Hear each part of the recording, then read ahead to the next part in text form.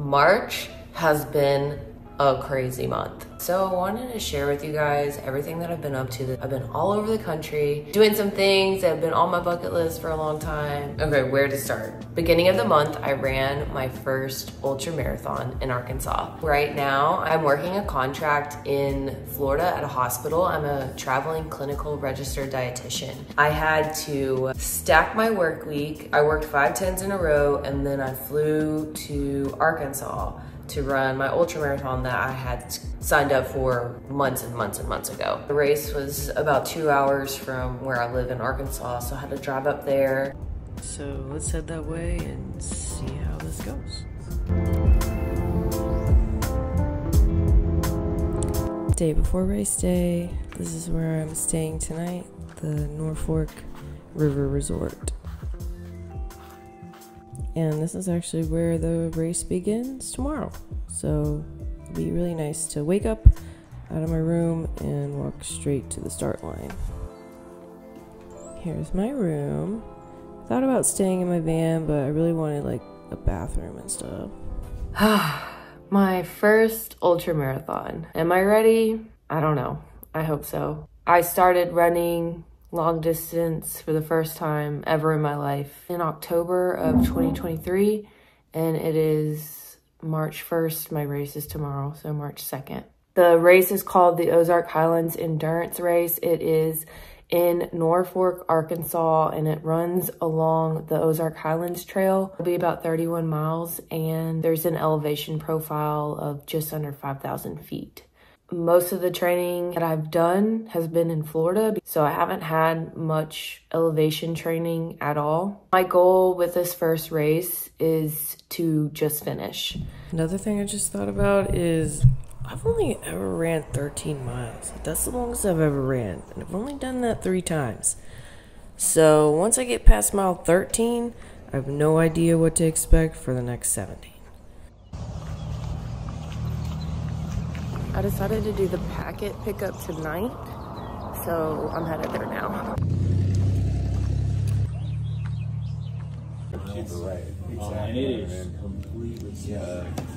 Okay, packet pickup is done. This is my dinner. I'm gonna carb up and get to bed because the race starts at 7 a.m. tomorrow. Okay, I said I was gonna get to bed, but I'm gonna drive down this road because this is part of the course. So beautiful. I'm gonna be running that tomorrow, that mountain. I'd like to take a minute and thank BetterHelp for sponsoring today's video. In the past, when I had a lot of things planned back to back, I would get really stressed, have anxiety, and this would eventually lead to burnout. But I've learned that having somebody to talk to really helps to keep my mental health in check. BetterHelp is awesome because it's an online based counseling service. And for someone who travels a lot like me, this is a great option to talk to a therapist anywhere I go. Getting started is really easy. I did a short survey and they provided options for me to be matched with a therapist that best aligns with my personal needs. BetterHelp also makes it really easy to rematch with different therapists if the first one isn't a good fit. The online platform allows me to schedule appointments when it works for me in my busy schedule or just be able to check in whenever I need some support. It's more affordable than traditional in-person counseling and financial aid is available. If this sounds like something that you would be interested, you can visit betterhelp.com and use my code Kelly Hays for 10% off your first month.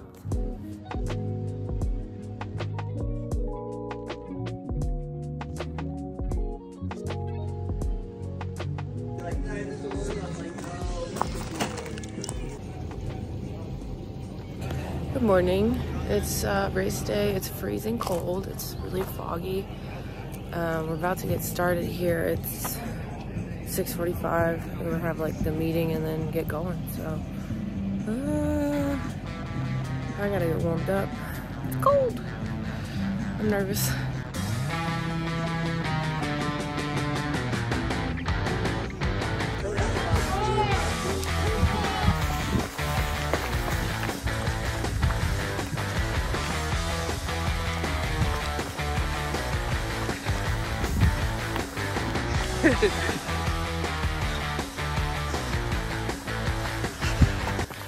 Did like a 2.6 on the road. And now we're getting on the trail. Here we go.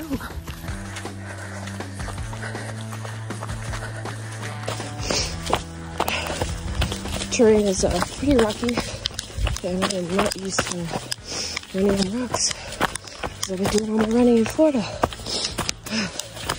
So I'm gonna have to slow down. So this is awesome. There would be a view, but it's really foggy. Sun's pretty though. Okay, I just made it to the first aid station, which I think is at mile 4.5 or something like that. And I feel really good. I probably need to slow down. But uh, starting to warm up. I drank a little cup of their electrolytes and downed a piece of banana. So I'm trying to get as much nutrition as I can in because that's what I'm not good at. I can go this whole race without eating and it's too long of a run for that. So food at every aid station, food every like 30 minutes.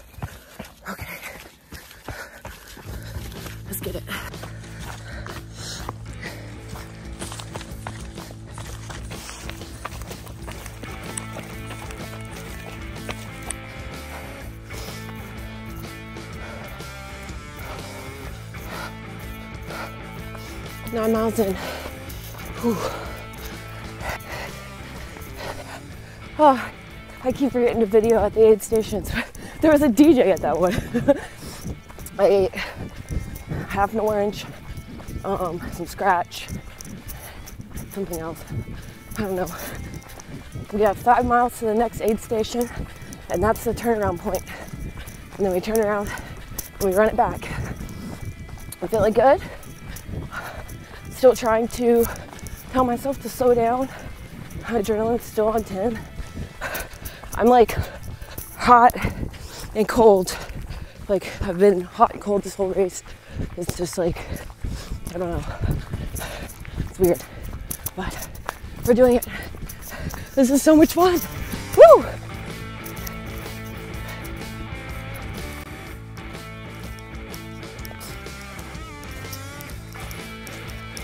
Went ahead and took my alpaca jacket off because I was like cold and then hot and I realized that I just sweat that thing out and it was making me cold. I took it off and I think I feel better. I've been walking up this hill because it's kicking my butt. And uh, so yeah, slowing down a little bit, getting a little tired. But um, still going strong so far. And a beautiful view. The fog is finally cleared out. Whew, this is awesome. Hey y'all, it's Kelly from the future. So this is around the point in the race when I hit that 13 mile marker where I was nervous about. 13 miles, that's the long side of Iran. Well, right around that time is when we started climbing this massive mountain and that's when it started to get hard and I was like, crap, I have to turn around and do this all over again. But I got to that 15 mile aid station and my dad surprised me up there. Now I told him that I was doing this race and he wasn't sure if he was gonna be able to make it, but he surprised me up there at the aid station and I can't even explain to y'all how big of a morale boost that was to see him there. I was able to get some good nutrition in. I came into that aid station feeling defeated and tired, wondering how I was gonna get through, and I left that aid station like bombed out, ran down the mountain, felt really good and really strong. I think I passed one or two people at that point in the race. This is also the point where I kind of stopped recording because my mind was way focused on how am I going to finish this thing? And I also learned that I was in third place for women's. And so that's when my competitive spirit came out and I was like, I'm not losing my third place. I knew where the girl was behind me and I wanted to get a really good big lead on her. You're still going? Yeah. Four more to go. Four more. Four more miles, right? Uh, no, like two and a half. All right. Love you, child.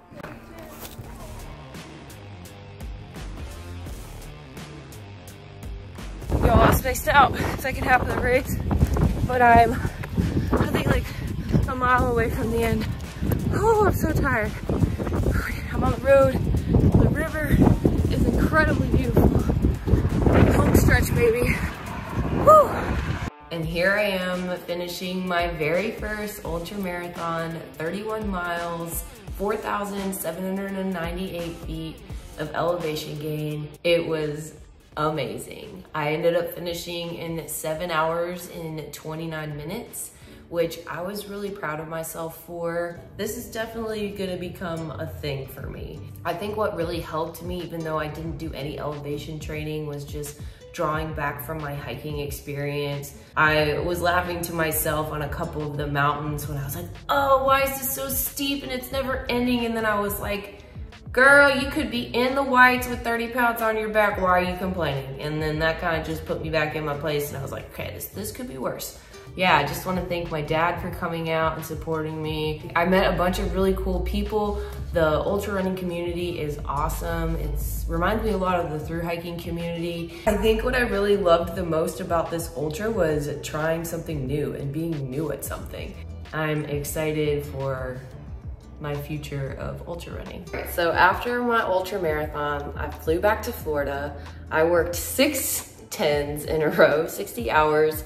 And then I packed my bags, went to the airport, and flew to Phoenix for my friend's bachelorette party in Sedona.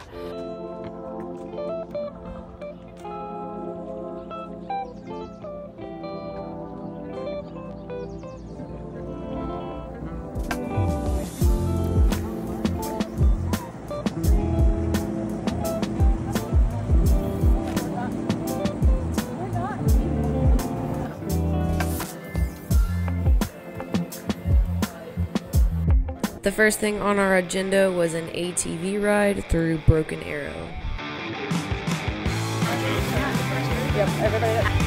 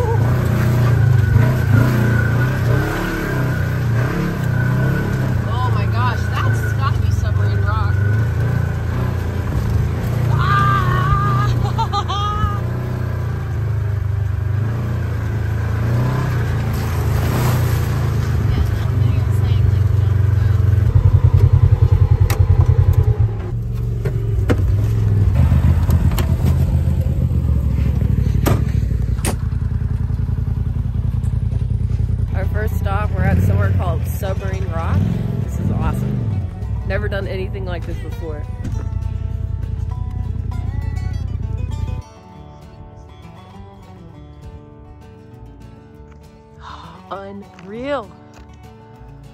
So unreal.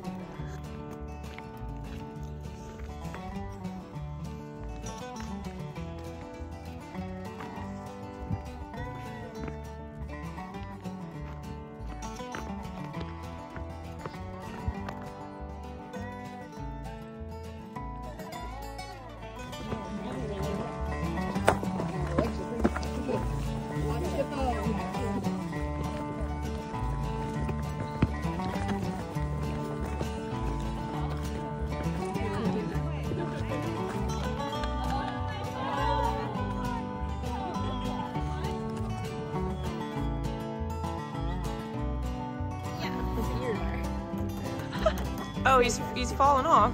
He's falling off, brother.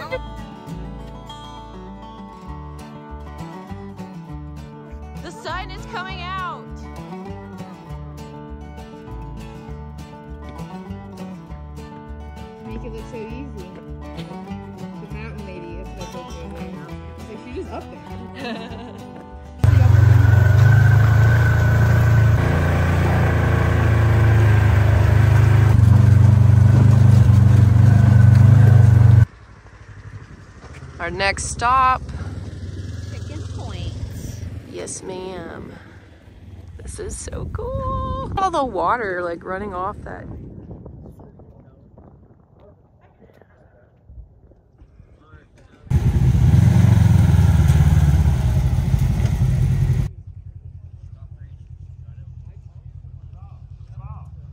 Alright, I'll take you guys out on the street. Come on out.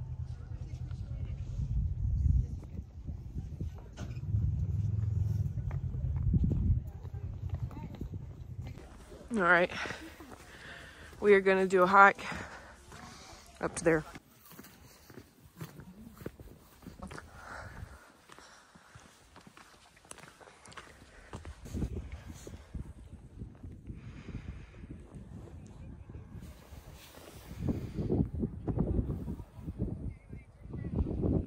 That is where we just were at Submarine Rock. It kind of looks like a submarine. So why is this called Chicken Rock? Is this does it look like a chicken? That's super pretty. I can't tell. What do y'all think? Does it look like a chicken? This is Mushroom Rock. Oh, my gosh, you can't just drive all around it. A little scary. that big old cliff. Woo! Wee! Oh, it's up there. We just finished our little ATV rides and I love that. I want a 4x4 vehicle ATV now. Just found out that Purdue lost to Wisconsin in overtime. Missed that game, so sad. But Illinois is about to play Nebraska in the Big Ten tournament. So gonna get some food, watch that game, and we got like dinner or something planned tonight.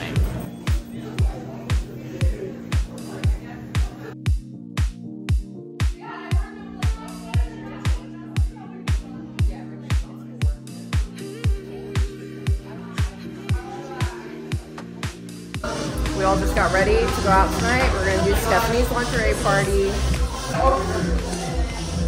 And the sun came out. Oh. Oh my gosh. The weather's been bipolar all day. It was hailing earlier, like little hail pellets. But now, this is incredible. I've never been anywhere or stayed anywhere like this. This is insane. Look at this. Yeah, we're gonna go out to like a really nice dinner tonight. Fun. Illinois won, beat Nebraska. We're going to the final. That's a good day. That's a good day when Illinois wins.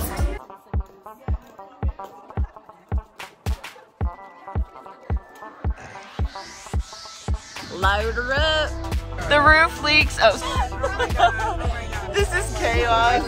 It is so much. Can y'all go to the back of the van and open her up?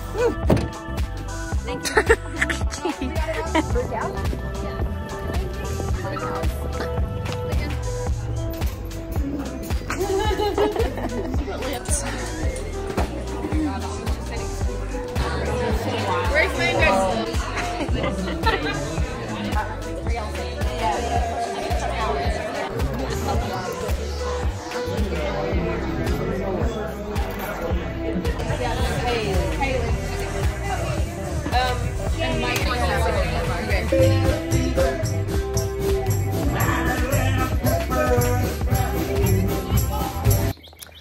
Morning. We're going on a hike. There's a little two miler right down the road from our Airbnb. We can just walk to it. It's called Soldier Pass, like sunrise hike or something. But it is a beautiful morning and it looks like it's gonna turn out to be a really pretty day here. This is the view walking down the driveway from our Airbnb. Like that is just insane. Look at the cactus. There's also this dome that I keep seeing right there. And I want to know more about this dome. That's pretty cool. This really makes me want to do the Arizona Trail. Like I've been knowing that I've been wanting to do that for a while now, but now being in Arizona, it's bumped up, I think 2025.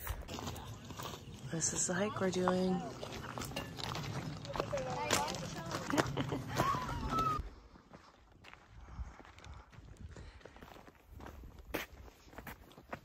So there are over 400 trails in Sedona. You just look at the map and they're they're everywhere. So we got out here and we just started kind of walking one direction and then I looked at AllTrails map and I found that we're right next to seven sacred pools, which is a really cool hike. There's like seven pools of water. I'm really excited. I didn't realize we were that close. Whoa. That's insane. Look at this. This all this rock just fell in. That is insane. Is that natural? There's a thing on it up there. Yeah. Do I have to do it? There's like a cave down there. This is a sinkhole. Apparently water got underneath this and it just collapsed one day. Someone's drone down there. That is somebody's drone. Oh man, that's a They DJI too. so cool.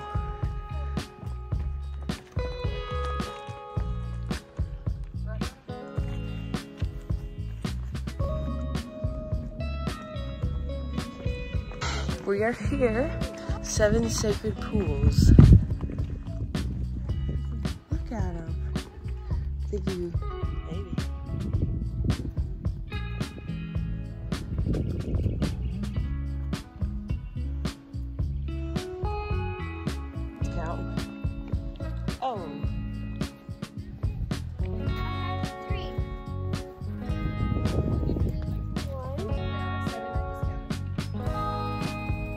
It's just ever so slightly pouring into the different pools. No,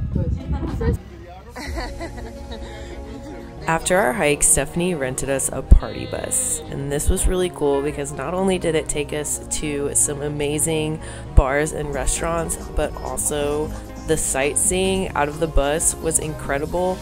I got to watch Illinois win the Big Ten championship here. Definitely the highlight of my day. And then the, this brewery was just insane. Everywhere we went, the view was 10 out of 10.